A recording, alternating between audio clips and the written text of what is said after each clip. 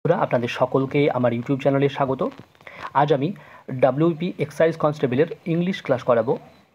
আজ এই ভিডিওটিতে ইংরেজির এরর কালেকশন নিয়ে আলোচনা করব। চলুন বন্ধুরা, ভিডিওটি শুরু করা যাক।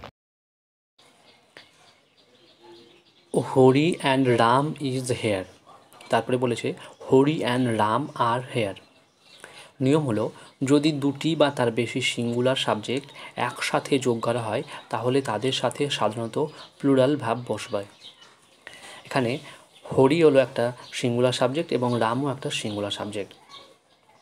তাই আমরা এখানে সিঙ্গুলার ভাব ব্যবহার করব না, প্লুরাল ভাব ব্যবহার করব। প্লুরাল ভাব কী হলো? আর ওয়্যার এগুলো। এখানে ইজ হলো একটা সিঙ্গুলার ভাব। তাই এখানে সঠিকটি হবে Hari and Ram are here. তারপরে দেখো, নাইদার হি নর আই ওয়ার দেয়ার। তারপরে বলেছে, নাইদার হি নর আই ওয়াজ দেয়ার। এখানে নিয়ম হলো, দুই বা তার বেশি singular subject, or, nor, either or, neither nor দ্বারা যোগ করা হলে ভার্ব সবসময় সিঙ্গুলার বসবে। এখানে দুটো সিঙ্গুলার সাবজেক্ট কী কী? একটা হলো হি, তারপরে হলো আই। তাই এটা যেহেতু নর দ্বারা যোগ করা হয়েছে তাই এখানে ওয়াজ বসবে। তাহলে সঠিকটি কী হবে? নাইদার হি নর আই ওয়াজ দেয়ার ওকে তারপরে প্রশ্ন। The secretary and principal are coming তারপরে বলেছে the secretary and the principal is coming এখানে সেক্রেটারি অ্যান্ড প্রিন্সিপাল হলো একই ব্যক্তি। নিয়ম হলো যদি দুটি সিঙ্গুলার নাউন একই ব্যক্তি বা বস্তুকে বোঝায়, তাহলে ভার্ব সবসময় সিঙ্গুলার হবে। এখানে যেহেতু এই সেক্রেটারি এবং প্রিন্সিপাল হলেন একই ব্যক্তি, তাই এখানে সবসময় সিঙ্গুলার ভার্ব বসবে। এখানে আর দেখুন প্রথম বাক্যে বসানো হয়েছে। আর কিন্তু একটা প্লুরাল ভার্ব। তাই এখানে সঠিকটা কী হবে? The secretary and principal is coming. তারপরে এখানে বলেছে three killed and one were injured তারপরে বলেছে three were killed and one was injured নিয়ম হলো, যখন একটি বাক্যের দুটি সাবজেক্ট থাকবে এবং যদি তারা একই সংখ্যার না হয়, তখন তাদের জন্য সেপারেট অক্সিলারিজ ব্যবহার করতে হবে। প্রথমে আমরা অক্সিলারিজগুলো দেখে নিই। অক্সিলারিজগুলো হলো is are am was were have has এইগুলো এখানে দেখুন দুটো সাবজেক্ট আছে। একটা রয়েছে এখানে থ্রি আর একটা ওয়ান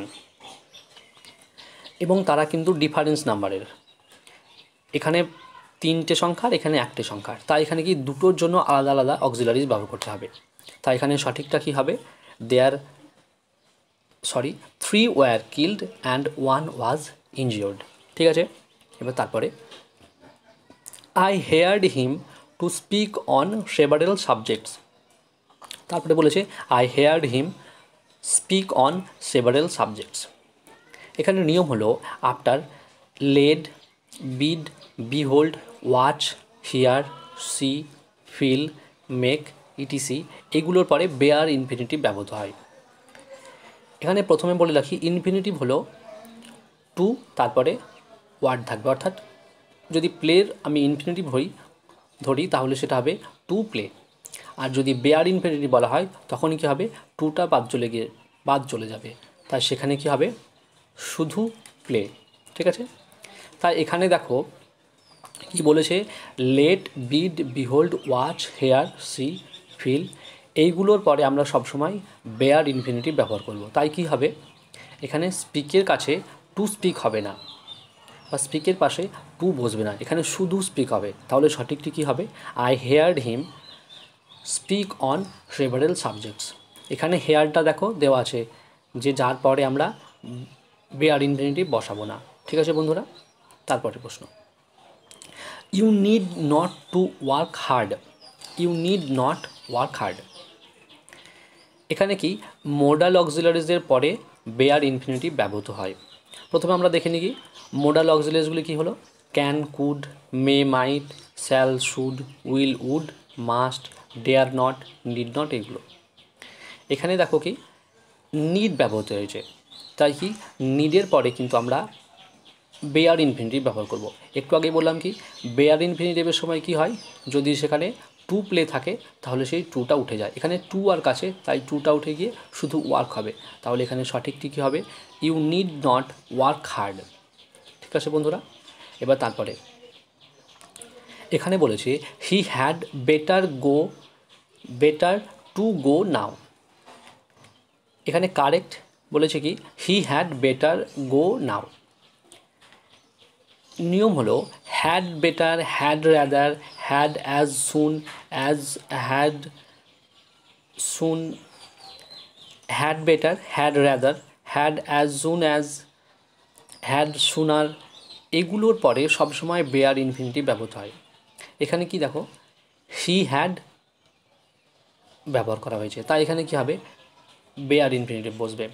বেয়ার ইনফিনিটিভ মানে যেখানে আমরা টু কথাটা বসাবো না, কোনো ভার্বের আগে। তাই এখানে কি হয়ে যাবে? হি হ্যাড বেটার ধন্যবাদ বন্ধুরা, ভিডিওটি শেষ পর্যন্ত দেখার জন্য। এরকম ধরনের আরও ইংরেজি ক্লাস আমাদের এই চ্যানেলে আপলোড হবে। আপনারা এই চ্যানেলটিকে সাবস্ক্রাইব করে রাখুন। ভিডিওটি যদি আপনাদের ভালো লেগে থাকে, তবে ভিডিওটিতে একটা লাইক দিন। বন্ধুদের সাথে এই ভিডিওটি শেয়ার করুন, যাতে সকলেই এই ক্লাসগুলো করতে পারে। ধন্যবাদ বন্ধুরা।